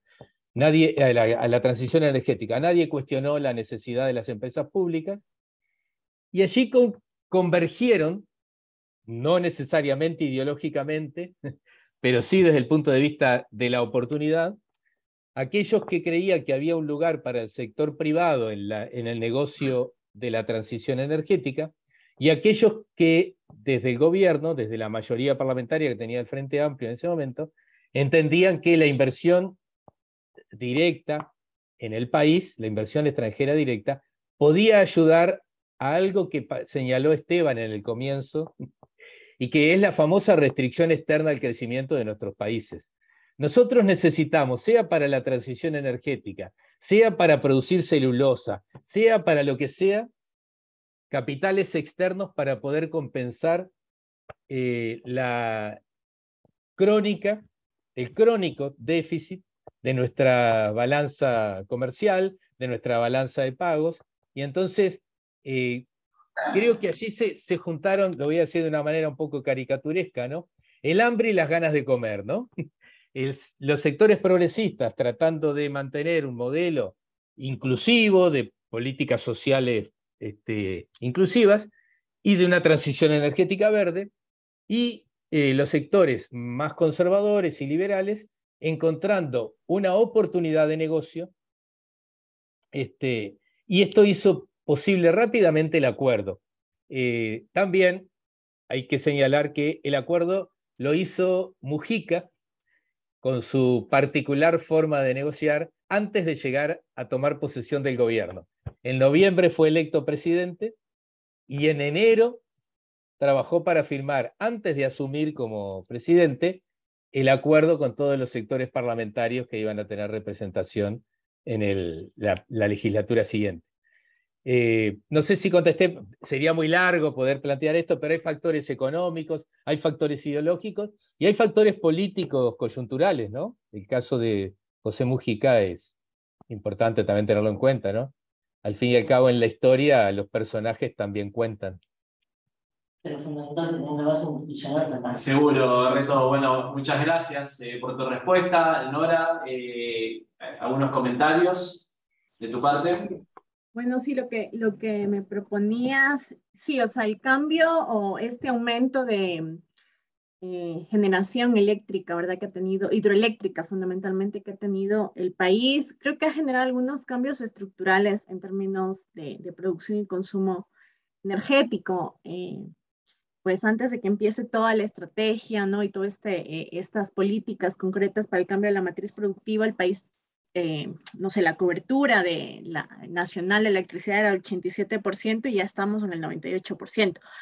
Yo imagino que ahora me parecía que las estimaciones era que llegábamos al 99%, ¿no? De, cobertura eléctrica, lo cual es bastante significativo, además porque la, casi el 70% pues es producción eh, renovable, no es hidroelectricidad, lo cual es eh, interesante para un país como este. Y ahí lo que ha operado fundamentalmente es la construcción de la Coca-Cola Sinclair, que es una gran hidroeléctrica que generó economías de escala y es la que nos ha permitido mantener eh, precios de o costos de electricidad bastante baratos, tanto para el sector residencial como para esta nueva oferta de energía eléctrica que les comentaba que se está haciendo tanto para el sector de eh, eh, explotación petrolera como explotación extractiva, ¿no? Y eh, es parte de nuestras ventajas competitivas, para decirlo en el lenguaje de, eh, que se le ofrece, ofrece a los inversionistas, y ahí hay eh, un, cambio estructural bastante importante. ¿no? Y otro cambio estructural importante es el que ha pasado en términos de consumo energético en el sector industrial. El sector industrial consumía mayoritariamente de manera significativa, además, diésel, y ahora en el 2016, pues la curva hace esto, ¿no? O sea, se dispara el consumo de electricidad y cae significativamente el consumo de diésel, ¿no? Y ese es un cambio hacia una matriz pues, energética más, más limpia.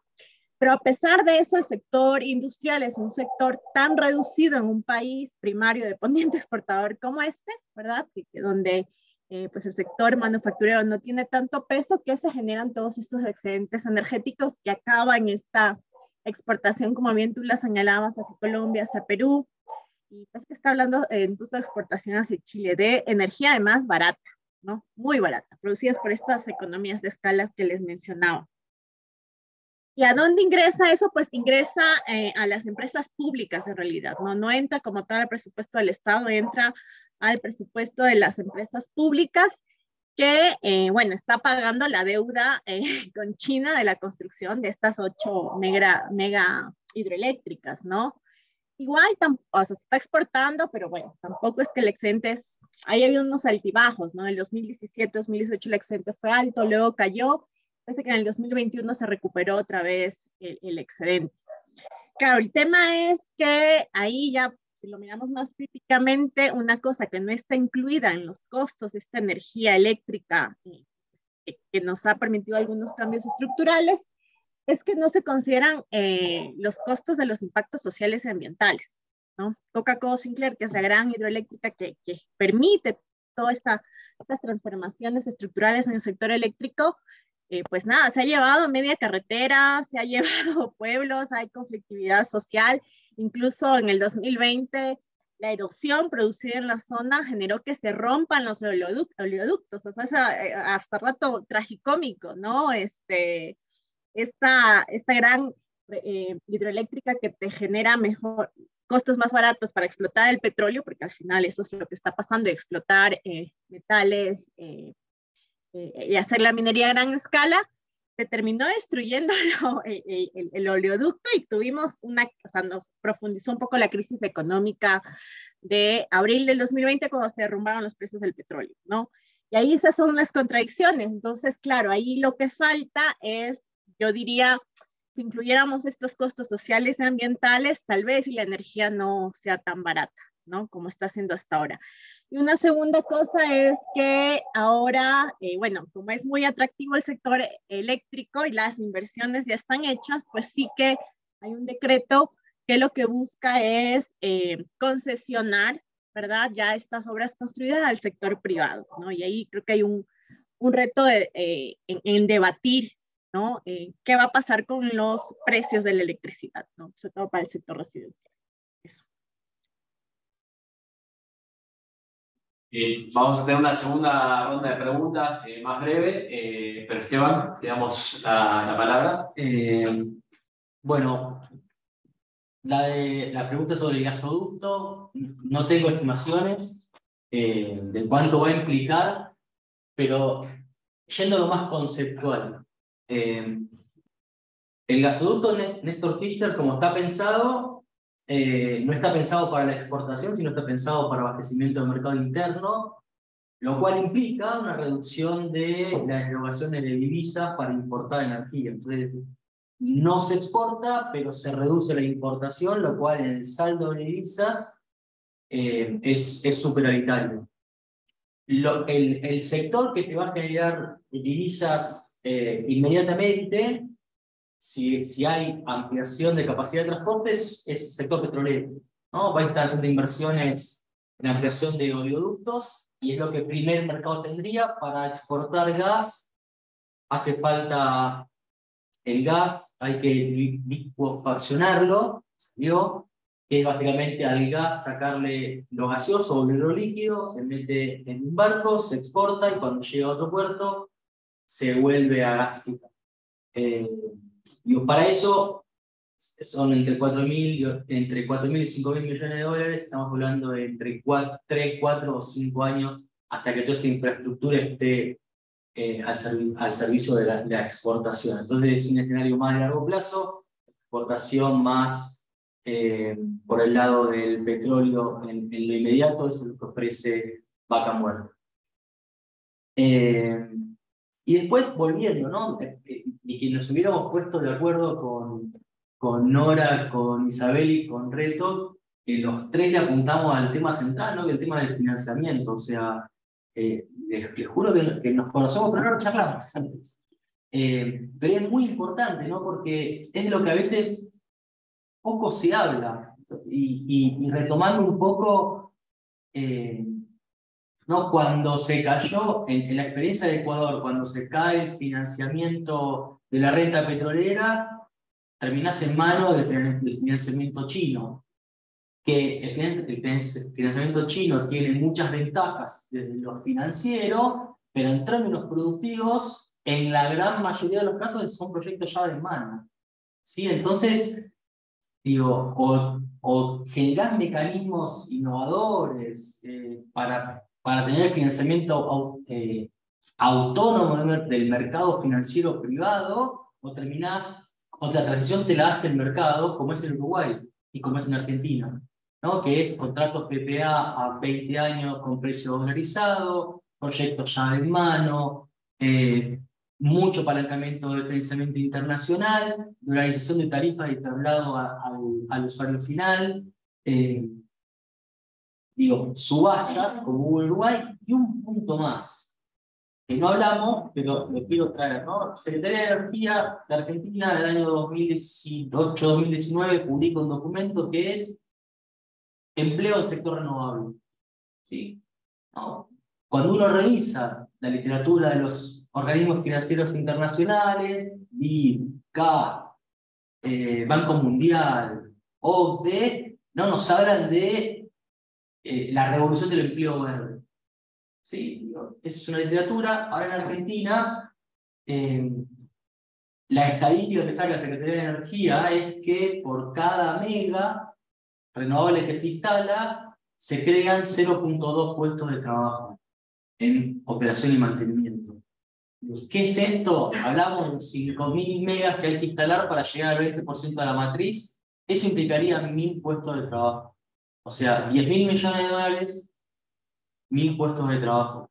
O sea, eh, la generación de empleos en la Revolución Verde no está en los parques está en las cadenas productivas y eso es el desafío. Cuando a la transición te la ordena el mercado, no te genera capacidades tecnológicas, te presenta eh, eh, proyectos llave en mano, y además no genera empleo. ¿Sí? Y además te demanda divisas, porque tenés que importar. ¿no? Entonces, ese combo es el combo que hay que discutir ¿no? en la transición a futuro.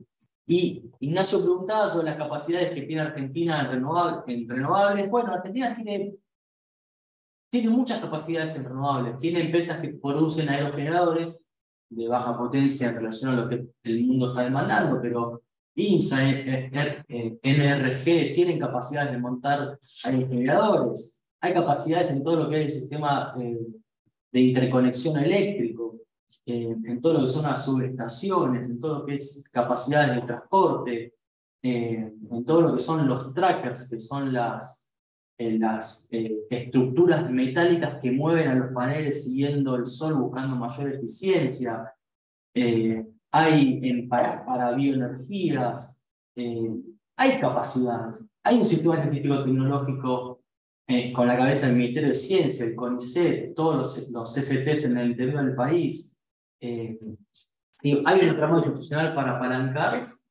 El tema es que sin financiamiento no hay nada de eso. Entonces, por eso planteaba este tema y por eso es necesario no solamente decir hay que transicionar, sino cómo lo vamos a financiar y qué tipo de capacidades en términos de empleo, industria y científico-tecnológico va a derramar Argentina para las próximas dos décadas. Clarísimo. Eh, bueno, creo que hay dos preguntas por escrito. Crisanto Silva Hilera dice, es importante ver las transiciones energéticas sustentables desde el punto de vista de la integración de los países latinoamericanos.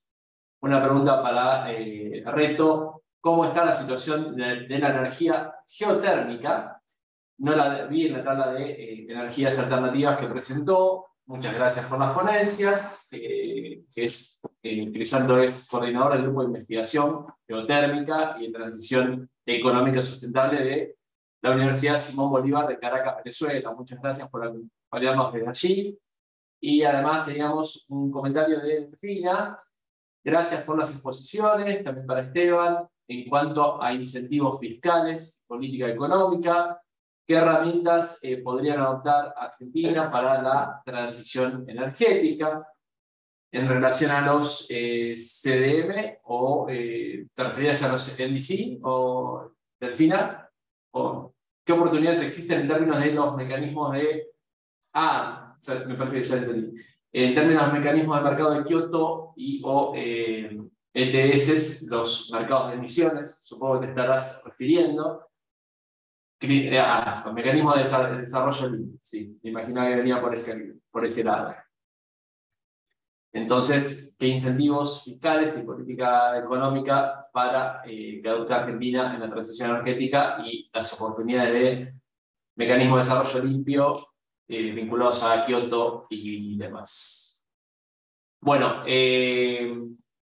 hacemos una última ronda de respuestas, menos que me haya quedado alguna pregunta pendiente por aquí. Me dicen que no. Eh, una última ronda. No sé si Reto quieres empezar vos. Arranco. Eh, eh, Crisanto, no, en Uruguay no tenemos estudios sobre capacidad de generación geotérmica. Por eso no estaba en la tabla, no hay generación geotérmica. Y hay muy pocos estudios, casi ninguno te diría yo, este, todo lo que tenemos son las termas allá en el límite con, el río Uruguay, este, pero no, no, no han habido estudios, no, por eso no está eh, incorporado. Pero si me permitís, Ignacio, como es la última vuelta, podemos tomar alguna cosa. Dos cositas cortitas, pero ¿qué me parece? La primera parte del, de la pregunta no es la pregunta, sino el comentario de Crisanto, yo lo levantaría. Nosotros eh, el tema de la integración latinoamericana para encarar las transiciones energéticas no es un eslogan solamente, sino que en buena medida podría estar parte de las soluciones a algunos de los problemas que planteó Esteban, que planteó Nora, que planteé yo. Eh, es decir, eh, América Latina podría ser superavitaria en términos energéticos, ¿ah? en en la medida en que hay complementariedades entre varios de sus países en cuanto a los recursos, pero además permitiría esto de potenciar las capacidades que se pueden ir generando y de establecer, y acá sé que a Esteban le, gustaría, le gusta esto, complementariedades productivas. Es decir, nosotros podríamos evitar el llave en mano si hubiera algún mecanismo de complementariedad productiva que nos permita acumular en términos de tecnologías aquello que hoy es una caja negra y que llega llave en mano. Este, y sencillamente para, para terminar, eh, algo lo que decía Esteban, en Uruguay eh, hay luces y hay sombras. Yo no quiero que quede solo la sombra, porque fue mi última parte de la intervención. Eh, la política energética 2005-2030 fue realmente un paso adelante. Pero el gran problema está en que, aún en presencia de empresas públicas potentes, la apuesta al mercado generó problemas. Uno de ellos es que, como vimos, parece muy bueno que en cuatro años hayamos instalado 1.500 megavatios, pero también tiene como problema que tomamos el precio del 2012 y conseguimos los 1.500 megavatios en cuatro años cuando estaba planteado para 15 y pagamos 62 dólares el, el, gigavatio hora, cuando en 2016-2017 podría haberse conseguido un precio por debajo de los 50 dólares el megavatio, el gigavatio hora. Hoy eh, las empresas públicas están negociando con los eh, inversores privados de los parques eólicos en extender la concesión a cambio de bajar el precio. Entonces, el mercado no siempre da el óptimo para, para solucionar estos temas. Y por otro lado, esa aceleración extraordinaria del proceso de instalación de los parques eólicos conspiró contra un elemento interesantísimo que tenía la política energética y que era el componente nacional de la inversión. En los contratos se establecía que el 20% de la inversión tenía que ser con componente nacional, ya sea tecnológico, ya sea de infraestructura, ya sea de mano de obra, etcétera, etcétera. Y se logró esto, pero eh, ese 20% se consiguió no con empresas nacionales que encontraran encadenamientos como proveedores de los parques eólicos, sino abogados y escribanos que les aseguraban que los contratos tuvieran todas las garantías necesarias a los inversores. El, de toda la inversión, de, de todo el componente nacional de la inversión, el mayor porcentaje fue de asesoramiento técnico y dentro del asesoramiento técnico de abogados y escribanos. Un problema que tuvimos y seguimos teniendo en América Latina, ¿no? Más vale tener un escribano en la empresa y un abogado en la empresa que un ingeniero o un economista, ¿no? Perdone que me extendí un poquito, pero tenía ganas. Tenemos por ahí algún abogado eh, que también se sintieron identificados. No sé, debe haber alguno más, pero... Eh, Esteban, eh, ¿tenías alguna pregunta? Sí, es muy corto porque son temas de incentivos fiscales. Es, es, una política más para atraer al sector privado, creo que a veces es importante con el riesgo de que, justo eh, el otro día hablábamos eh, dos cosas. Uno, si vos no te integrás regionalmente y no tenés una política de, de, atracción a la inversión que tenga algunos pisos mínimos en términos de, de, de, una, de la estructura fiscal y, la, y las, los incentivos fiscales a las empresas, lo que sucede muchas veces es lo que la literatura llama race to the bottom, ¿no? que es correr la carrera a la baja.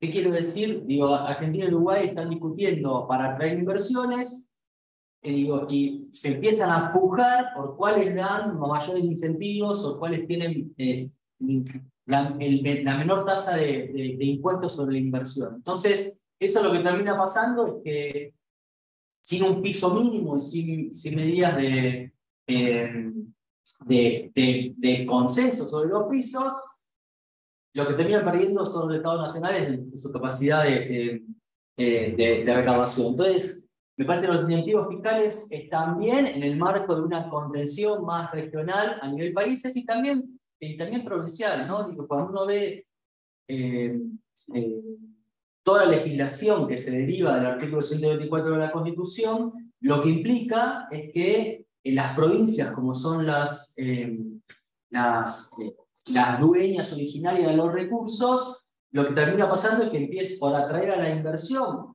Digo, lo está pasando ahora en litio, lo que hay es una baja en términos de la capacidad de, impuestos o, un mejoramiento en las condiciones de inversión para que las empresas se radiquen eh, en vez de Jujuy en Catamarca o en vez de Salta en La Rioja, etc. Entonces, me parece que ahí digo, lo, lo importante es tener un piso mínimo que recubra eh, el interés general, el interés nacional sobre la capacidad de atraer inversiones. Eso, eso es lo primero.